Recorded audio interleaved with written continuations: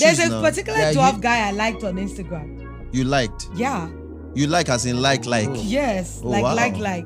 And Lord, he Lord, would- Lord, Lord. No, wait, won't over jump and yet.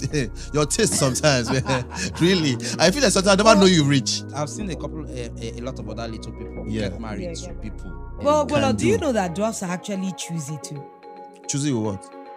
Everything. Be- because I've experienced one or two relationship before. It, I mean, it Wait, were those relationships with regular height girls? Yes. Or okay. No, I just imagine your top treadmill. I just. Okay. Okay. What But but try but again, Is he trying to lose more of his height? no, because I he- he- fat no go dey body. You no go burn fat. Bye, be, bye. Uncle be wait. Your wife don't ever carry you like small picking before. Because I dey see una play well well oh. I don't have a fetish for small people. I like short men. Okay. So it doesn't really bother me the height. Okay. As long as you can climb a table and kiss me, it's good.